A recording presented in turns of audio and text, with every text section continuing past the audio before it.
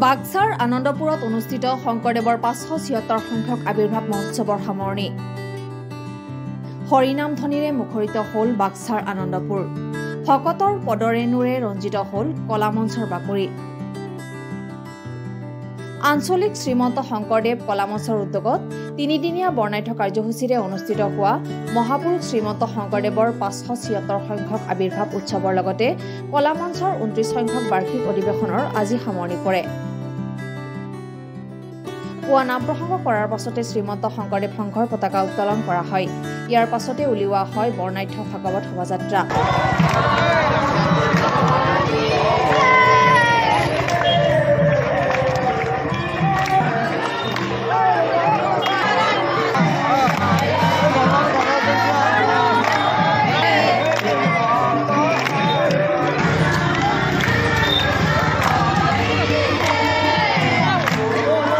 শংকৰদেৱ সংঘৰ প্ৰাক্তন মূলৰ সদস্য যতীন হাউদে উদ্বোধন কৰা শোভাযাত্ৰাত প্ৰায় সহস্ৰাধিক ভকত বৈষ্ণৱে অংশ লৈ হৰিনামৰ ধ্বনিৰে মুখৰিত কৰি তোলে সমগ্ৰ অঞ্চলটো।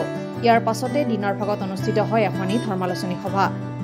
কলা মঞ্চৰ সভাপতি অমৃত দাসৰ সভাপতিত্বত অনুষ্ঠিত সভাত কেইবাজনো বিশিষ্ট ব্যক্তিয়ে অংশগ্ৰহণ কৰে।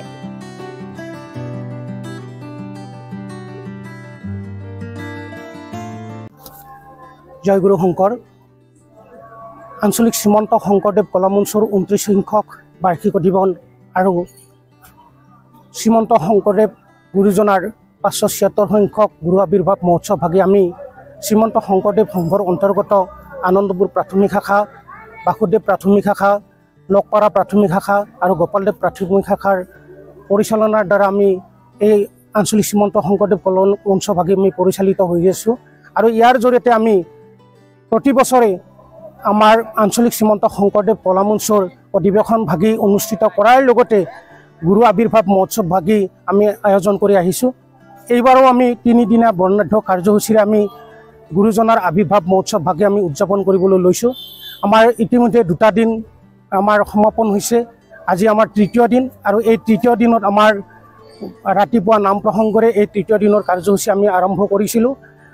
নাম প্ৰসংগৰ পিছতে আমাৰ ধৰ্মধ্বজা উত্তোলন কাৰ্যসূচীটো সমাপন হৈছে আৰু এই ধৰ্মধ্বজা উত্তোলন ভাগে সমাপন কৰিছে আঞ্চলিক শ্ৰীমন্ত শংকৰদেৱ কলামঞ্চৰ স্থায়ী সভাপতি অমৃত দাস বাপজনাই আৰু ইয়াৰ পিছতে আমাৰ ভাগৱত শোভাযাত্ৰা অনুষ্ঠিত হৈছিল আৰু এই ভাগৱত ভাগৱত যাত্ৰা ভাগি শুভ উদ্বোধন কৰিছিল প্ৰাক্তন মূলৰ সদস্য যতীন সাউদ বাপে।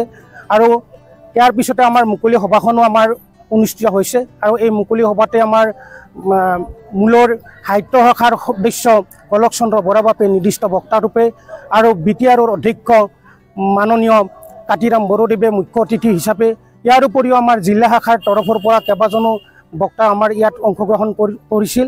আৰু এনেদৰে আমি আৰু সন্ধিয়া আমাৰ নাগৰা নামেৰে আমাৰ এই তিনিদিনীয়া বৰ্ণাঢ্য কাৰ্যসূচী আমি সমাপন কৰিছোঁ। আৰু এই কাৰ্যসূচী ভাগি পৰিচালনা কৰাৰ ক্ষেত্ৰত আমাৰ এখন আদৰণি সমিতিও গঠন কৰা হৈছিল।